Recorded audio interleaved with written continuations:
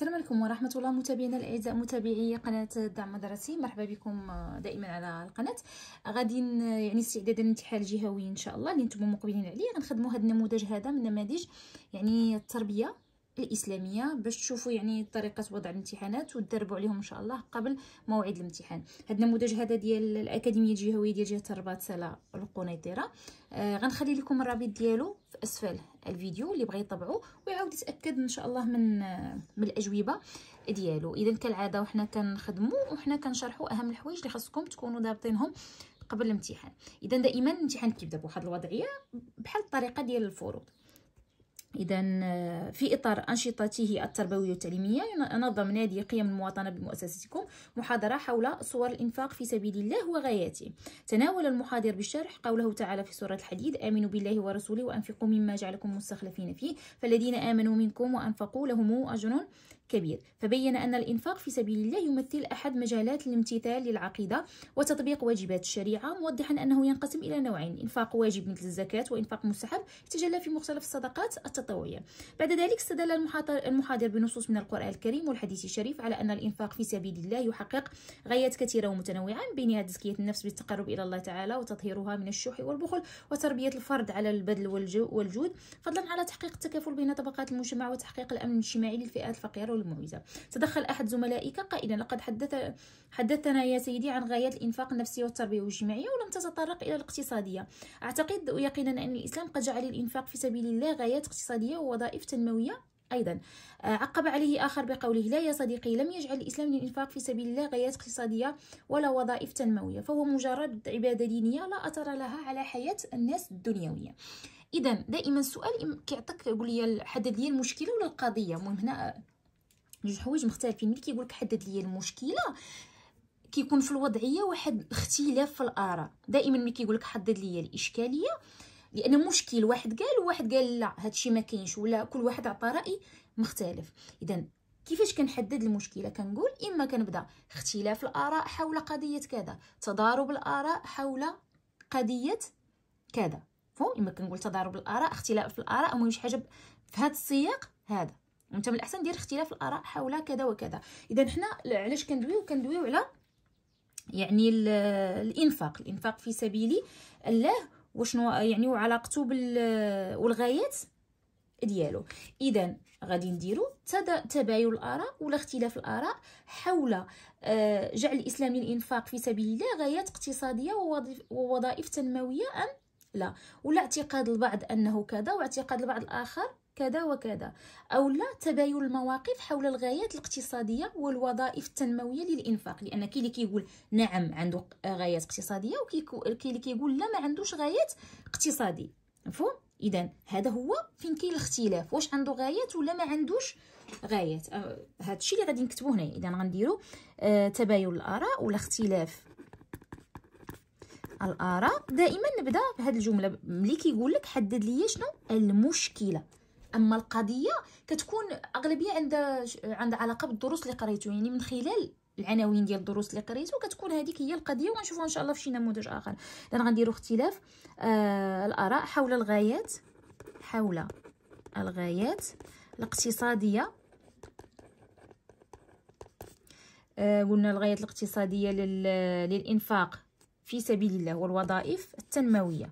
والوظائف يعني كلشي كيكون عندك في هذاك السياق. اولا الوضعية والوظائف التنموية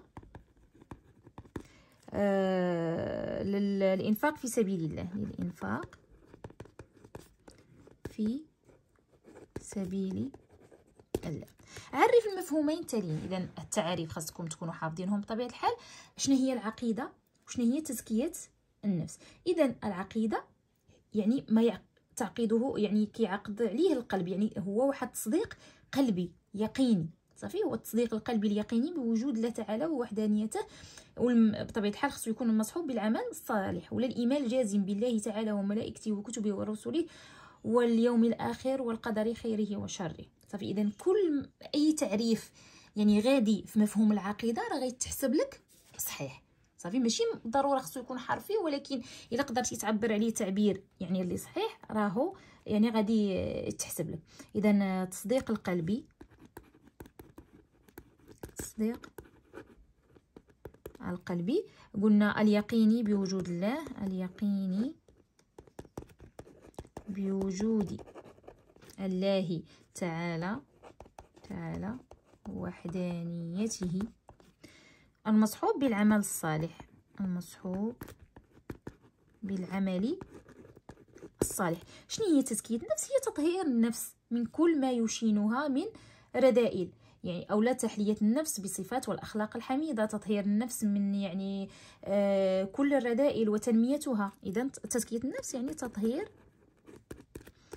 النفس من كل آه ما قد ما قد يشينها يعني يسيء إليها. من الرذائل ندوزو الآخر.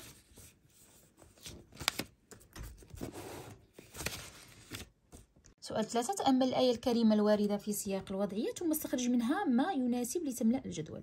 إذا بغينا هذيك الآية اللي عطاونا في السياق. ونعطيوها بصورة مكبرة هنايا. إذا قال تعالى آمنوا بالله ورسوله وأنفقوا مما جعلكم مستخلفين فيه فالذين آمنوا منكم وأنفقوا لهم أجر كبير. إذا ما يدل في الآية على العقيدة. إذا قلنا العقيدة هو الإيمان الجازم. إذا الله شنو قال لنا في الآية؟ آمنوا. إذا بينا أننا خصنا نكتبوا آمنوا. ما يدل في الآية على واجب من واجبات الشريعة. الواجب يعني ملي كيأمرك الله دير شي حاجة يعني عندي تما واحد الفعل أمر. ها هو أنفقوا. صافي؟ أنفقوا. هذاك واجب. وأنفقوا. قيم من القيم المستفادة من الآية الكريمة. إذا الله قال لنا أنفقوا. إذا عندنا الإنفاق. مثلا الإيمان. قلنا الله آمنوا. إذا عندي قيمة الإيمان. لهم أجر كبير يعني عندي قيمة الجزاء قيمة الثواب. إذا عندي بزاف ديال القيم. مثلا هنا عندنا الإيمان الإنفاق. اذا بزاف ديال القيم. استخرج أو استخرج من سياق الوضعية غايتين من الغايات النفسية والتربوية للزكاة. اذا هنا راه عطاونا الغايات. صافي. اذا عندنا آه، اش من غايات بغينا بغينا غايات النفسية والتربوية. واخا. اذا غنشوفوا آه هنايا. تطهير. اذا آه تطهير النفس من الشح والبخل. هذه تنزكيو بها النفس. ديالنا تربية الفرد على البذل والجود. اذا هادشي كلشي كاين يعني ما هو نفسي كنربيو به النفس ديالنا. إذا غنكتبوا مثلا تطهير آه، تزكية النفس بالتقرب إلى الله. غايتين اذا تزكية تزكية النفس بالتقرب إلى الله. عندنا مثلا تطهير النفس من الشح والبخل تطهير النفس من الشح والبخل. غندوزو للسؤال ستة. أتمم كتابة الآيات الكريمة من قوله تعالى وما لكم ألا تنفقوا في سبيل الله ولله ميراث السماوات والأرض. إلى قوله تعالى ذلك هو الفوز العظيم. إذا هنايا بالنسبة للجزء آه، خاصكم تكونوا يعني حافظينه. آه، خاصك تشكل آه، صافي باش ما خاصكش دير زيادة أو نقص في, القرآن. صافي لأن كيكون خلال تصحيح كيكونوا يعني معايير يعني كل خطأين كتمشي عليه تقريبا ربع نقطة. إلا خطأتي جوج الأخطاء كنحيدو ربع نقطة. آه غادي نجيو هنا سؤال سابع. حدد موقفك ممن يرى أنه ليس للإنفاق سبيل في سبيل الله غايات اقتصاديه قالك أعطيني الموقف ديالك. ملي كيقول لك الموقف ديالك يعني واش أنت توافق ولا غير موافق؟ هذا هو الموقف ديالك. واش أنت متفق ولا غير متفق. إذا الموقف لا أوافق ولا لا أتفق لأن الإنفاق لديه غايات اقتصادية بطبيعة الحال. هل جوابك عن طريق إبراز إحدى الغايات الاقتصادية أو الوظائف التنموية للإنفاق في سبيل الله؟ اذا هذوك الأموال ديال الزكاة راه كنديروا بهم نقدروا نديروا بهم مشاريع. اذا كاينين الناس اللي يعني تبارك الله لاباس عليهم الزكاة ديالهم واش كيديروا بها؟ كيديروا بها مشروع لواحد آه، فقير.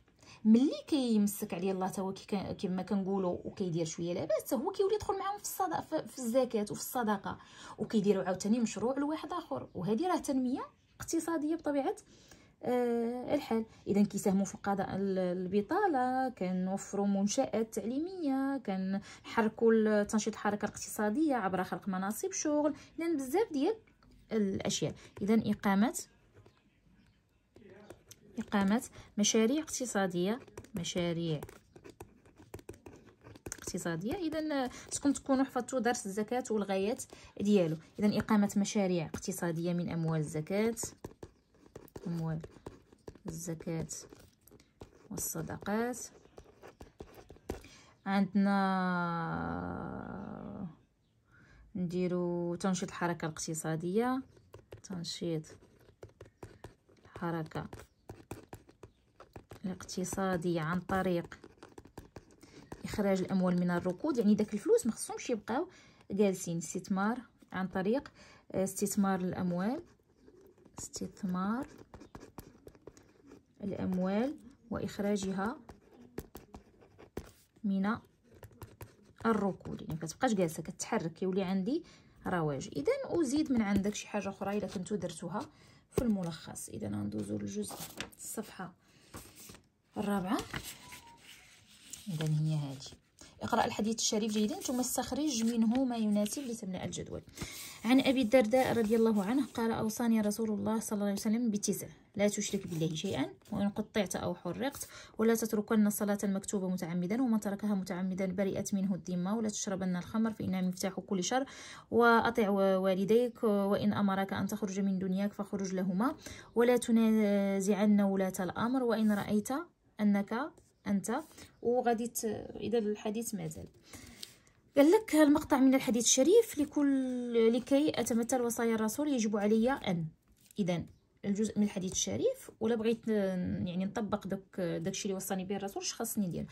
أؤمن بالله تعالى وحده في ذاته وصفاته وأفعاله. إذا شكون هو الجزء اللي كي اللي فيه أنني خصني نوحد الله سبحانه و آه تعالى. إذا شنو غادي ندير هنايا؟ كده بلاتي نشوف هذه ربعة على ربعة. لا بلاتي باقي هنا ثلاثة على ربعة. اذا أنا نقصت صفحة خصنا نمشيو لهذه بعد. يقول تعالى في سورة الحديد هو الذي ينزل على عبده آيات بينات ليخرجكم من الظلمات إلى النور وإن الله بكم لرؤوف رحيم. استخرج من الآية الكريمة أعلى غاية من غاية تنزيل آيات القرآن الكريم على الرسول صلى الله عليه وسلم. بطبيعة الحال هنايا الإخراج من الظلمات إلى النور ليخرجكم من الظلمات إلى النور. وعندنا كذلك الرحمة والرأفة بالعباد. إذا الإخراج غنديرو الإخراج إخراج. من الظلمات من الظلمات إلى النور. أولا اللي هي الهداية. إخراج من الظلمات إلى النور هي هداية الإنسان. أكتب آية من سورة الحديد. آه، تدعو المؤمنين إلى أن تخشع قلوبهم لذكر الله وتنهاهم عن أن يكونوا من الذين قست قلوبهم. إذا يقول تعالى في سورة الحديد ألم يعني للذين آمنوا أن تخشع قلوبهم لذكر الله وما نزل من الحق ولا يكونوا كالذين أوتوا الكتاب من قبل فطال عليهم لمدوا فقست قلوبهم. صافي؟ آه إذا غادي نكملو. أكتب آية. من هي هذه؟ تأمل الجدول الآتي ثم املأه بما يناسب. واخ شوف عندنا في الجدول. يقول تعالى في سورة إذا عندنا الآية وأن القيم المستفادة من كل آية. يقول تعالى في سورة الحجرات يا أيها الذين يا أيها الناس إنا خلقناكم من ذكر وأنثى وجعلناكم شعوبا شعوبا وقبائل لتعارفوا. إن أكرمكم عند الله أتقاكم. إن الله عليم خبير. إذا عندنا التقوى عندنا التعارف عندنا آه، العلم. اذا كل كلمة ممكن يخرج منها واحد القيمة نخرجها. هما كيبغيو غير قيمة وحده صافي؟ اذا تعارفوا. صافي إن أكرك آه لتعرفوا إن أكرمكم عند الله أتقاكم عندنا التقوى اذا هادو باينين صافي؟ الذين آمنوا الإيمان اذا عندنا التقوى عندنا التعارف اذا عندنا مجموعة من القيم. يقول تعالى في سورة البقرة يا أيها الذين آمنوا ادخلوا في السلم كافة ولا تتبعوا خطوات الشيطان إنه لكم عدو مبين. اذا هنايا عندنا السلم عندنا التقوى عندنا طاعة الله صافي اجتناب خطوات الشيطان. إذا هنا مجموعة من القيم كذلك. إذا هنا عندنا الإيمان السلم. يقول تعالى في سورة الحديد يا أيها الذين آمنوا اتقوا الله وآمنوا برسوله يؤتكم كفلين من رحمته ويجعل لكم نورا تمشون به ويغفر لكم والله غفور رحيم. إذا عندنا المغفرة عندنا الرحمة عندنا الإيمان عندنا التقوى عندنا بزاف ديال القيم. عندنا الرحمة عندنا التقوى عندنا الإيمان بالرسول. إذا عندنا مجموعة من القيم. اذكر خاصية من خصائص مجتمع المدينة آه، قبل كتابة وثيقة المدينة. لأن قبل ما يكتبوا وثيقة المدينة أعطيني شي خصائص من خاصيات آه، المدينة. مجتمع المدينة كان يعني واحد المجتمع متعدد الديانات. كانوا فيه مسلمين وكانوا فيه يهود وكاين وكان فيه كذلك واحد الميز العنصري وكانت فيه واحد العصبية قبلية. كل قبيلة كتبغي تنتصر لنفسها مثلا كانت الأوس والخزرج دائما بيناتهم الحروب كاين منافقين إذا آه، غادي نكتبوا اذا غنديرو ذكر خاصية من خصائص المجتمع المدني المدينة يعني. غنديرو تميز تميز المجتمع ولا مجتمع مجتمع المدينة. ب يعني ب نديرو انتشار العصبية القبلية. بانتشار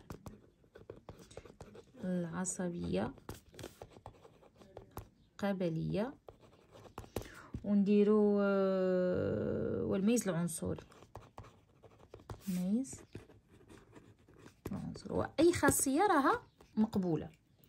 تأمل جدول الاتي ثم أجب حسب المطلوب. إذا عندي مضمون نعطي الايه من سوره الحديد مرة عطيني سوره الحديد أنا خصني نعطي المضمون ديالها إذا إخبار الله عز وجل بحال المنافقين والمنافقات يوم القيامة يوم يستغيثون بالذين آمنوا ليقتبسوا من نورهم. إذا يقول تعالى سابقوا إلى مغفرة آه لا. ويوم يقول المنافقون والمنافقات للذين آمنوا انظرونا نقتبس من نوركم انظرونا يعني انتظرونا. اذا هذه هي الآية اللي خاصك تكتب هنايا.